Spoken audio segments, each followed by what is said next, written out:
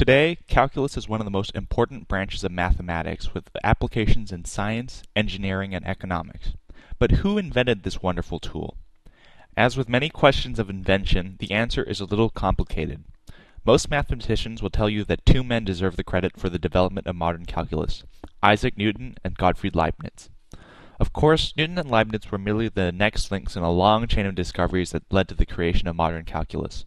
The ancient Greeks had first dipped their feet into the field, with the famous mathematician Archimedes being the first to find the tangent to a curve, and Antiphon of Athens developing the method of exhaustion, an early technique to compute the area of a region. Then the Indians added their own discoveries, with the astronomer Aryabhata expressing an astronomical problem in the form of a differential equation in the year 4099, and Parameshvara of Kerala developing an early version of the mean value theorem in the 1500s. Finally, during the European Enlightenment, men like Fermat, Pascal, and Isaac Barrow further pursued the emerging new field, developing the concept of the derivative. Barrow even offered the first proof of the fundamental theorem of calculus, linking the concepts of differentiation and integration. However, it was one of Barrow's young students, a certain Isaac Newton, who would make the next big splash in the creation of the art of calculus. Let's talk a bit about young Isaac for a moment. In his 84 years, Isaac Newton would discover gravity, write the three laws of motion, formulate a modern theory of the origins of colors in the visible spectrum, develop an empirical law of cooling, discover the binomial theorem, kickstart 200 years of intellectual freedom in the Enlightenment, move the British pound to the gold standard, and of course, invent calculus. Newton's rival, Gottfried Leibniz, was no intellectual slouch either. Leibniz developed the binary system that is the basis of all modern electronics, contrived his own theory of everything, the monadology, invented modern formal logic, anticipated the discoveries of Einstein with his metaphysical theory of dynamism, theorized about an early computer to solve algebraic expressions, explored the field now known as topology, created a wonderful brand of German biscuits, and of course, invented calculus. Strangely enough, both men invented calculus, but to their graves, the world believed that only one man was telling the truth. The question was, who? In 1666, Newton was one of the many students at Cambridge University who were sent home on account of the plague. In his spare time, Newton developed what we now know as calculus to solve physics problems. However, he called calculus the method of fluxions, fluxion being Newton's term for a derivative of a continuous function. Newton mainly used geometric proofs for his new theory, and relied on limits and concrete reality rather than concepts in theory. However, as was typical with Newton, he withheld his extraordinary findings for many years, refusing to publish them for the rest of the world. Meanwhile, young Gottfried Wilhelm Leibniz, a German philosopher and mathematician, began working on his calculus in 1674 while staying in Paris. On November 11, 1675, he made a breakthrough, finding the area under the graph of the function y equals f of x. He invented a whole new system of notation for his discovery, using an elongated letter S for the Latin word summa for integration, and the D for the Latin word differentia for differentials. Leibniz published his first account of differential calculus in 1684, and then published an explanation of integral calculus in 1686. A year later, in 1687, Newton finally got around to publishing his findings, producing the Philosophiae Naturalis Principia Mathematica, which has since been hailed as the greatest science book of all time. In the book, Newton described his famous laws of motion, his law of universal gravitation, and the derivation of Kepler's laws of planetary motion. Throughout the book, Newton used his new tool, calculus, to back up his physical theories. However, since Leibniz had published first, it was Leibniz, not Newton, who got sole credit for this amazing new field of mathematics. In retrospect, both men's calculus work had problems. Newton's calculus lacked a standard notation and heavily relied on geometric proofs of infinitesimals. Leibniz and Newton both based their work on this concept. Infinitesimals were quantities that were not zero, yet smaller in absolute value than any real number.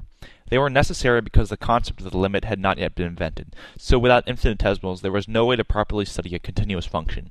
Unfortunately, infinitesimals were on shaky philosophical and mathematical ground, and many refused to accept a calculus based on these infirm ideas. But back to Newton. Determined to prove that he was the sole inventor of calculus, Newton embarked on a 17th century smear campaign to prove that Leibniz had plagiarized. Fortunately for Newton, there was plenty of circumstantial evidence in his favor. Many of Newton's colleagues had connections to Leibniz, and some of Newton's unpublished manuscripts may have found their way into Leibniz's hands. Newton and Leibniz had also corresponded by letter quite frequently, sharing ideas about mathematics. In fact, Newton's first descriptions of calculus, including the binomial theorem, fluxions, and tangents, first appeared in letters he wrote to Leibniz. Newton also had powerful allies working in his favor. Following his publication of the Principia Mathematica, Newton became something of a scientific celebrity, winning the support of the prestigious British Royal Society, which would become his main attack dog on Leibniz. Unfortunately, in contrast to Newton's popularity, Leibniz had few allies. When his friend, mathematician Johann Bernoulli, tried to defend Leibniz's credibility in a letter to Newton, Newton pressured Bernoulli into retracting his statements. Nearing the end of his life, Leibniz gradually lost control of the argument, and Newton became known as the father of calculus. In 1715, the Royal Society officially proclaimed Sir Isaac Newton as the sole discoverer of calculus. Leibniz died only a year later, having lost much of his credibility. Even after his death, Newton and the Royal Society worked to discredit Leibniz. They claimed that Leibniz's different notation was just a mask for his treachery, despite the fact that it was actually more efficient than Newton's dot notation. However, in spite of the rulings of the Royal Society, mathematics in the rest of Europe continued from where Leibniz had left off. Newton's fluxional calculus was discarded in favor of Leibniz's methods, which were more efficient and applicable. However, as a matter of national pride, England refused to use Leibniz's methods, sticking to Newton's outdated method of fluxions. As a result, while the mathematics of continental Europe advanced, British mathematics languished. It was only until 1820 that Britain finally recognized the work of foreign mathematicians, and the march of mathematical progress could continue. Only the passage of time has revealed the true answer to the calculus controversy.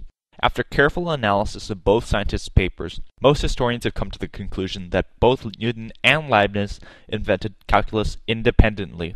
Though, as Newton claimed, Leibniz had indeed seen some early manuscripts of the Principia, by this time he had already come to his own conclusions. Both men had collaborated by letters in developing concepts like the power series and had known of each other's progress. Further analysis of both men's methods has provided more evidence. Newton, who had used calculus as a tool for physics, had approached calculus from the derivative as applied to motion and velocity. On the other hand, Leibniz had taken a geometrical approach, basing his discoveries on the work of previous thinkers like Descartes and Pascal. This is perhaps the most conclusive evidence that both Newton and Leibniz were independent inventors of calculus. While modern controversies are so often about celebrity divorces or boys and balloons, the fact that the best remembered controversy of the 17th century was about the invention of an advanced mathematical field speaks volumes. In spite of all the hubbub about who invented what and when, both Isaac Newton and Gottfried Leibniz are perhaps best remembered as pioneers of mathematics, adventurers who pushed the limits of human comprehension to new frontiers. For that, both men deserve the utmost credit.